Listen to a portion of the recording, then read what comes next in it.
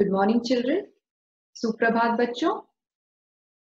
In today's Hindi class, again, we are going to learn some more novels, vowels. Okay, so like we have already completed some of the vowels.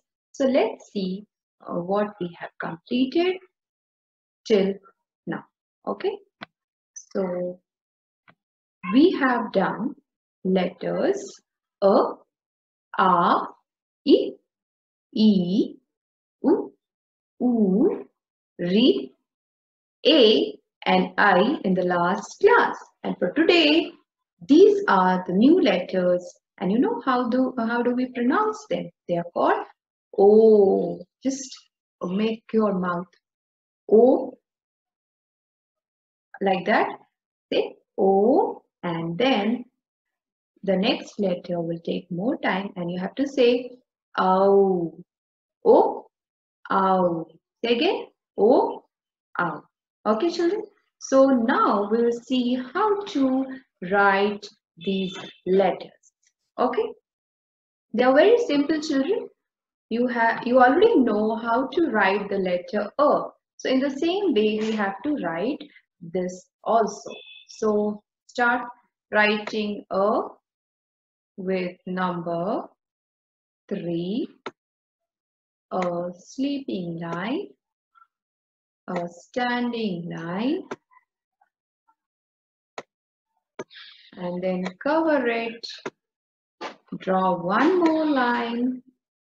Standing line. And from the second line you have to go up and turn inside. This is your letter O.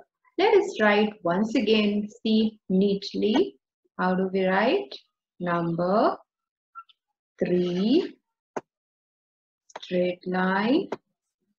Again standing line. The next again we have to draw standing line. And then you need to cover it on the top.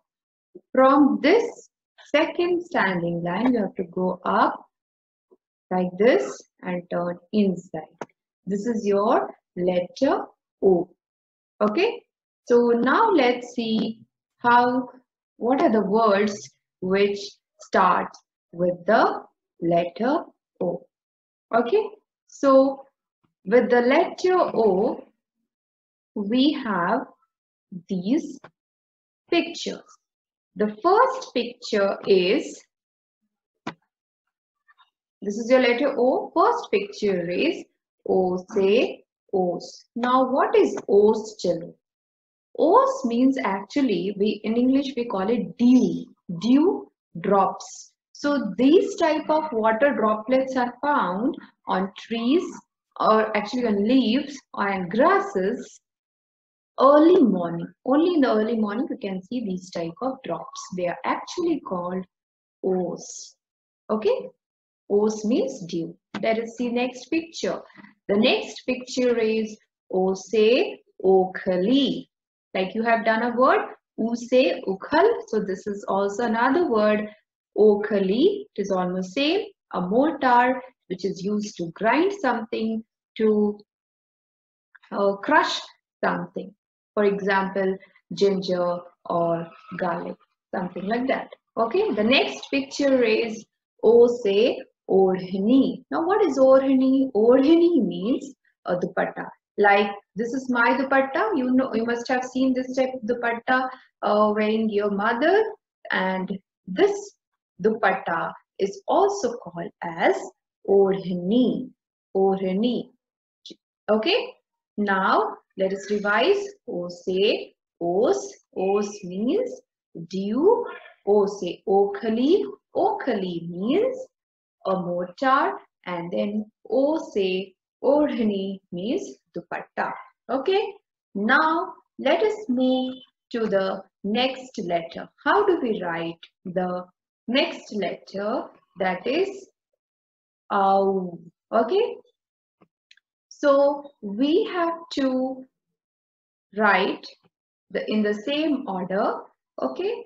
Let us start number three sleeping line, standing line, another standing line, cover it on the top and from the second standing line you go up turn inside. So this is letter O. Now what is the difference in OW? In OW only small differences you have to add another flag over here. It should turn in the same direction. Let us see once again. A This is your letter A. Another standing line.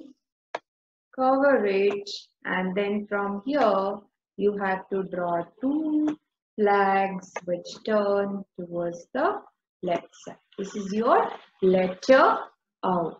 Okay, now let's see what are the pictures which start with this letter. So our next letter is Au. This is Au. Au say we have Aurat. What is Aurat? Aurat means a lady or a woman. Like I'm a woman, your mother is a woman, your grandmother, anyone like that. Okay.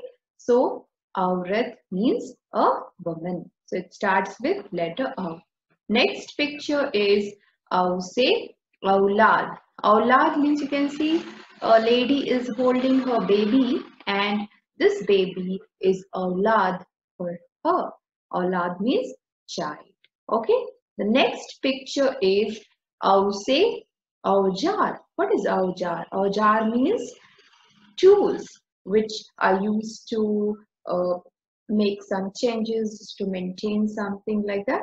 Okay so for example uh, cutting plates screwdriver and all you must have seen they are used to maintain something. Okay so that is say auzar now let us move let us revise these.